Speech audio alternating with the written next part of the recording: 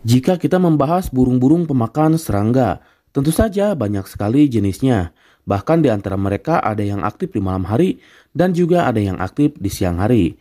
Kali ini kita akan membahas jenis burung pemakan serangga yang aktif di malam hari dan memiliki bentuk wajah sangat menyeramkan.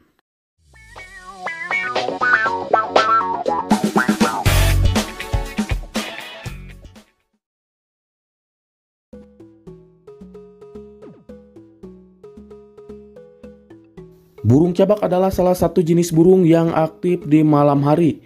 Mereka terbang berputar-putar pada saat petang dan juga dini hari. Tentu saja untuk mencari makanan berupa serangga.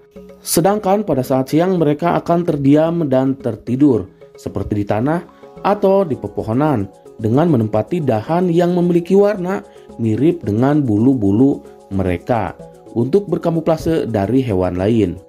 Burung cablak ini dikelompokkan dalam keluarga Capril Mugidae dan Podargidae adalah salah satu jenis burung pemakan serangga yang aktif di malam hari. Mereka akan berburu laron, ulat, bahkan kodok. Jenis burung ini juga tidak hanya memiliki satu jenis saja.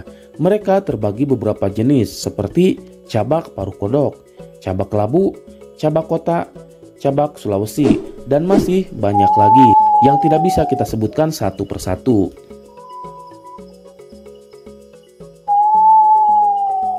Dilansir dari hewan pedia, burung cabak mempunyai sifat yang berbeda-beda dalam setiap jenisnya, dimulai dari aktivitas dan juga makanannya. Burung yang mengkonsumsi serangga pada umumnya mereka aktif di siang hari, diurnal, namun beberapa jenis di malam hari yang biasa disebut nokturnal. Dalam penelitian yang tertulis, hanya diketahui dua suku burung cabak saja yang memakan serangga dan bersifat nokturnal, yaitu burung cabak dari keluarga Capril mulgidae dan paruh katak, Podar gidae. Mereka juga masih disebut sebagai burung cabak di Jawa dan juga Bali. Burung cabak memiliki ciri fisik yang berukuran 22 sampai 30 cm, tergantung dari jenisnya sendiri, dengan paruh yang lebar dan besar mirip kodok. Bulu-bulunya sangat halus dan lembut, membantu agar tidak berbunyi saat terbang, terutama untuk mencari serangga dan makanan-makanan kesukaan mereka. Karena memiliki ciri fisik yang aneh, burung ini juga sering dijadikan sebagai burung mitos, apalagi mereka sering berbunyi di malam hari, yang tentu saja membuat malam semakin mencekam.